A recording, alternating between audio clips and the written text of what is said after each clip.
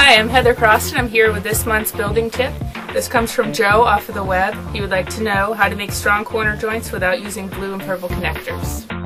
Well, Joe, this is probably the connection that you're talking about. It's a blue and purple connection. You see the corner. Um, an alternative to the blue and purple connection is you can take a red connector and snap your rods into the sides and then cross snap another rod in the middle section. And you have a small, a strong corner. This is what it would look like in a structure. An example of this connection can be seen in this windmill model where you see we use the purple blue connections here and then the red connection down here. And that forms a strong corner joint right there.